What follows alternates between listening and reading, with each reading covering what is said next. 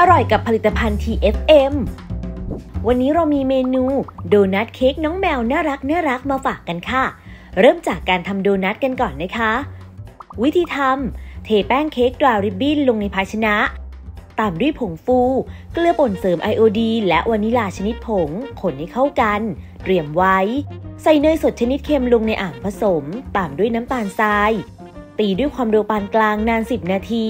เติมไข่ไก่ทีละฟอง ตีจนเข้ากันดี ใส่แป้งที่ผสมไว้ตีด้วยความเร็วต่ำพอเข้ากัน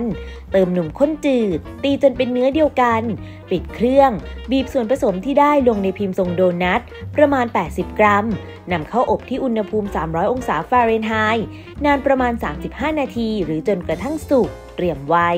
จากนั้นเรามาทำรอยัลไอซิ่งกันต่อค่ะ วิธีทำ ใส่น้ำตาลไอซิ่งลงในภาชนะตามด้วยน้ำ คนให้เข้ากัน แบ่งส่วนผสมออกเป็น 2 ส่วน ส่วนที่ 1 น้ำหนัก 250 กรัม เป็นสีขาว ส่วนที่ 2 น้ำหนัก 50 กรัม ผสมสีผสมอาหารสีชมพูเตรียมไว้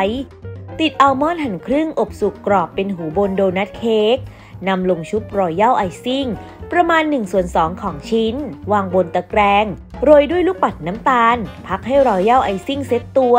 บีบตกแต่งหน้าตาน้องแมวด้วยดาร์กช็อกโกแลตละลาย และบีบรอยัลไอซิ่งสีชมพูที่หูให้สวยงาม จัดใส่ภาชนะ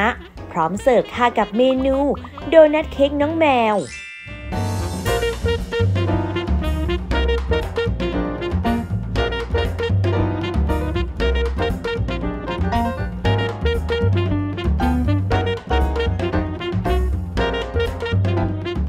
มีผลิตภัณฑ์ TFM ติดครัวก็อร่อยกันได้แล้วเลยค่ะ